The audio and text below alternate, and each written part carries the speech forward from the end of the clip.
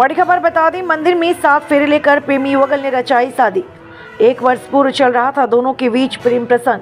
प्रेमी के द्वारा शादी से मना करने पर हुआ था विवाद। नाराज़ प्रेमिका ने थाने में दी थी तहरीर। प्रेमी और प्रेमिका को थाने बुलाकर परिजनों के साथ बैठकर की गई बातचीत। परिजनों और समाज के लोगों के साथ बैठकर दोनों के मामले को समझकर परिजनों की मंजूरी पर लिया गया शादी करने का फैसला।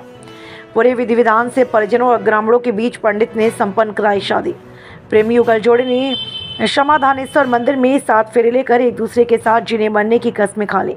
बचरामा थाना क्षेत्र के महाराजगंज रोड पर स्थित क्षमाधानेश्वर मंदिर की घटना।